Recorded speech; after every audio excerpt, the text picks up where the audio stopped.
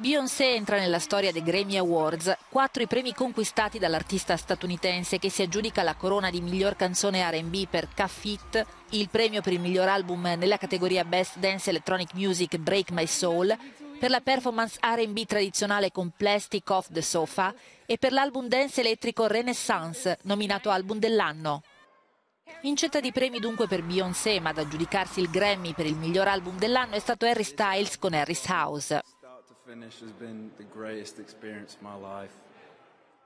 Per la canzone dell'anno Los Angeles incorona invece la cantautrice Bonnie Raitt per Just Like That.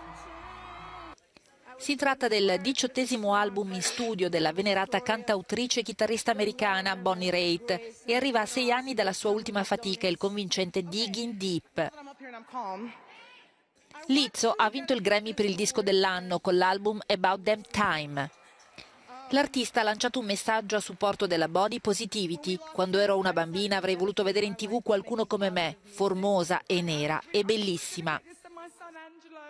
Il premio per la migliore performance pop da solista è andato ad Adele con Easy on Me.